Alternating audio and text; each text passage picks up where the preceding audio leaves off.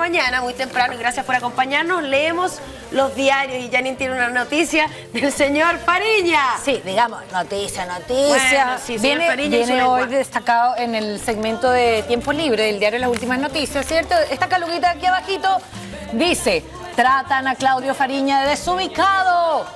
Y es que la deslenguada visita de Claudio Fariña y José Antonio Neme al matinal de TVN, donde contaron hasta intimidades, podría considerarse un ejercicio de sinceridad. Pero en el panel de intrusos, es decir, nuestro programa, lo calificaron derechamente como una desubicación. Y es que los dardos iban especialmente contra Fariña, que contó, entre otras cosas, que su actual esposa fue su amante cuando él estaba casado con otra La persona. ra... bueno, Flaco favor. Flaco favor que le hace. ¿Hasta Claro. cuándo? ¿Hasta dónde es como honestidad, transparencia y sinceridad?